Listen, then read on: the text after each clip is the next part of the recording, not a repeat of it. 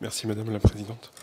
Euh, j'aborde les choses peut-être par un petit côté, mais euh, ma question porte sur le chapitre 11 euh, du traité sur la reconnaissance mutuelle des qualifications professionnelles pour les professions réglementées.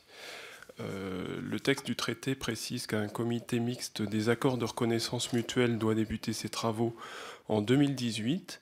Ce comité, je cite, est constitué des autorités compétentes Europe-Canada et d'organismes professionnels il est censé organiser ses propres procédures.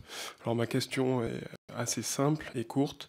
Quand est-ce qu'on connaîtra la composition de euh, ce comité et euh, serons-nous et comment informés de l'avancée des travaux du comité? Merci beaucoup. Mireille Clapeau.